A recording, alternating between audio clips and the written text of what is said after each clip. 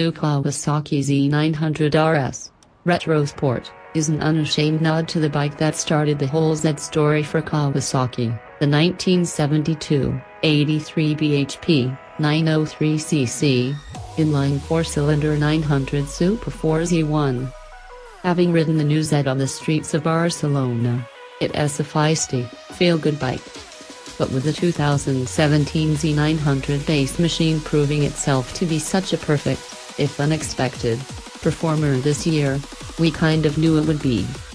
With Z1 inspired styling cues abound, from the ducktail back end and oval rear light, to the machined engine fins, textured metal tank and side panel badges, replica cam covers and twocks, which use the same typeface and needle shape, resting at the same angle at zero, as the originals.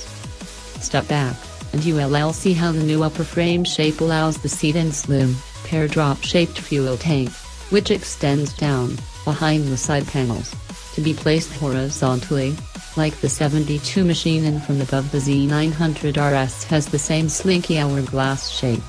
The metallic brown and orange livery isn't just a faithful replica of the original S carcinogenic paint, it has one of those flawless, glistening finishes that looks like it is still wet with lacquer.